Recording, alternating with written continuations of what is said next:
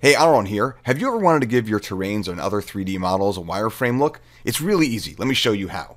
Let's start with the most basic, right? Here I've got a plane and a cube. I'm going to turn on the redshift renderer here. So go from standard to redshift. And then I'm going to add a new material. And I'm going to double click to open up the material. And over here I'll click on the plus button and I'll choose wireframe. Right? Just write that in. Grab it, drop it. Okay. Then what I'm going to do is just connect this to the color. And right away, if I just drag this onto our cube, we'll see some thin lines added to our cube. And we're also going to drag the material onto our plane. Now, you'll notice that if I'm looking here in my lines, I'm only seeing squares. I'm not seeing triangles. But here I'm seeing triangles. Well, that's easy enough to fix. What you do is you go into the wireframe settings. So we'll go into here. We'll go over to the base and the color wireframe. You'll see that we've got show hidden edges. Turn that off.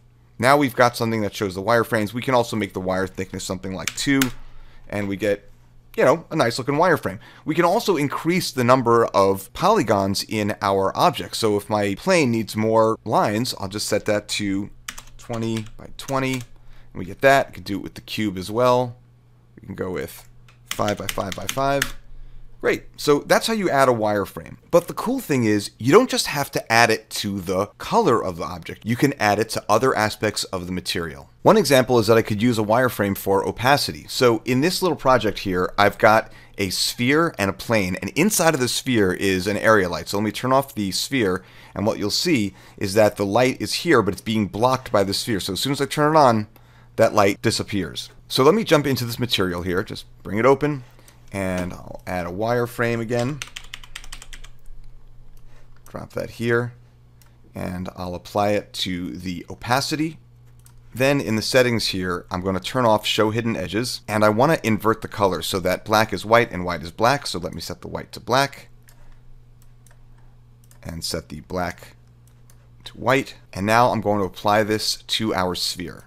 I'm also going to jump back to the material and to the wireframe, and I'm going to set that up to something like 10 to see what happens. And if we pull in here, we can see that the wireframe is casting the shadow. Now another example is using the wireframe for emission like I did in my first example. So I've got a landscape, actually got three of them and a plane, and I've got a purple material applied to them. I'm going to double click to open up the material. I'm going to add in a wireframe again, drop it in, Okay, and this time I'm going to drag it over the emission property and the color specifically. And we're not going to really see anything just yet because the material's emission weight is still zero. So we have to go over to the material and if we go down to where it has emission and we set the weight of the emission to something other than zero, why don't we go with like six, it's going to light up like a torch here, but that's because the colors aren't right. So let's set the wire color to a bright pink like this, or purple, something like that.